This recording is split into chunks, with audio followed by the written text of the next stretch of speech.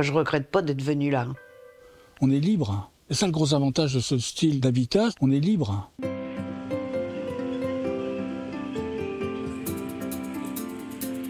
On est à Fontaine-Guérin et en fait la grand-mère de mon mari y habitait et elle est devenue veuve et du coup elle a intégré euh, une maison de retraite à quelques kilomètres. Et pour nous en fait c'était vraiment le déclenchement, on s'est dit ah mince pourquoi elle n'a pas pu rester vieillir au village? Ici c'était une ruine au cœur du village, fermée depuis plus de 80 ans. On s'est dit mais pourquoi on rachèterait pas des vieux bâtiments, les restaurer, proposer des lieux de vie pour des personnes âgées et euh, qu'elles puissent euh, rester vieillir en toute liberté euh, sur leur territoire et en lien surtout avec les autres.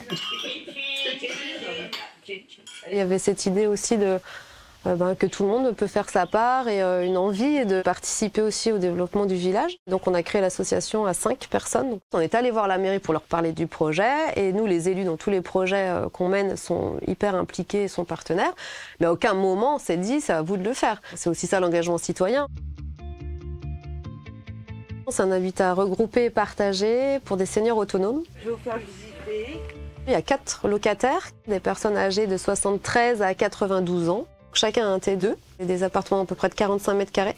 Et par rapport à d'autres locations, ce n'est pas cher. Et heureusement, parce que j'ai une petite retraite.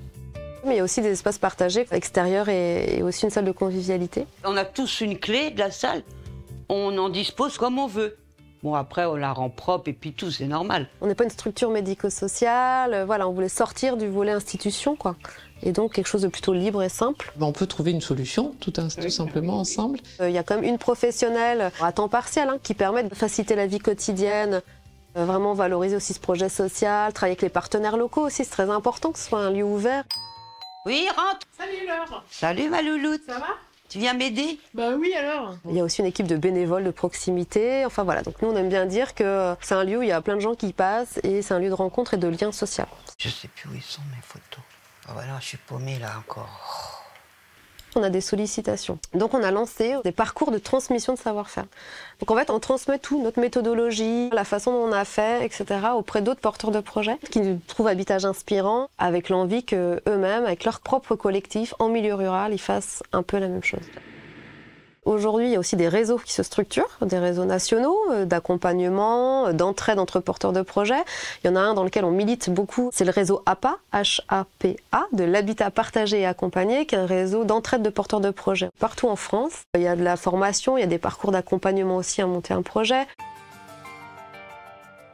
Il y a aussi euh, la plateforme API désormais, donc c'est monhabitatinclusif.fr, qui est une plateforme aussi d'information pour les porteurs de projets. Il y a aussi des MOOC L'idée, c'est de se plonger un peu dans l'écosystème, d'être bien outillé. Donc il y a un moment d'immersion, je pense, à avoir, de prise de contact, de découvrir ce qui se fait à droite et à gauche, et surtout pas rester seul, être en réseau, etc., construire des collectifs.